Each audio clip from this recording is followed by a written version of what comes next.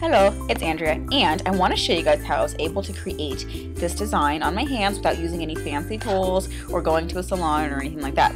Um, a lot of you guys requested this tutorial after seeing my hands in my itchy scalp remedy video, and since my soul is yours, I will show you how to do it right now. So easy, let's go. So you can either go to your beauty supply store and buy some tip guides, or you can order them online. They're really cheap, but I think the easiest way to do it is just go into your cabinet and get your band-aids out.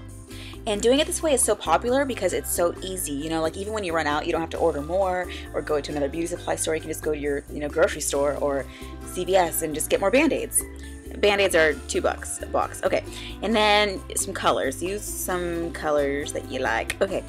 So the first thing I want to share with you guys is this product right here. Without this product, I would not be able to grow my nails out. Uh, my nails are really brittle, so I always have to paint this on my fingernails first.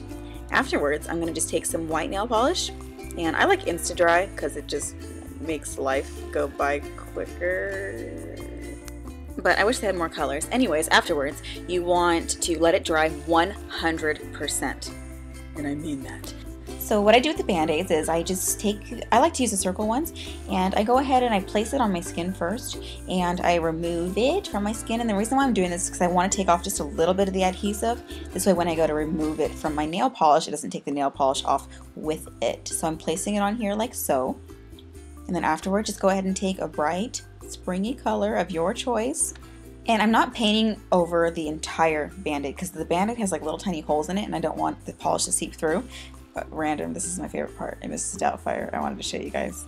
What is your favorite part in Mrs. Doubtfire? Okay, anyways, um, then afterwards, like I said, okay, you don't want to paint all over the entire thing, just the very end of it, and then slowly pull off the band-aids. And you'll have this pretty design that you saw in my other video. And that's all that I did. It took me five seconds.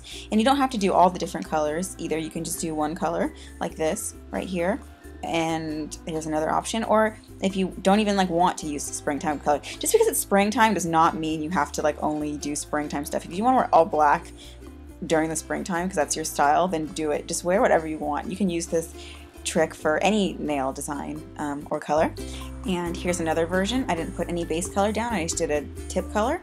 And here's my sister's nails. She was taking a picture so I told her to film her nails because she used the band-aids as well. Um, and here is my spring look. Let me know down below in the comments what you think. And if you guys want to post a video response of your nail design using the same trick, then go ahead and do it. And I'll see you guys soon. Okay, bye.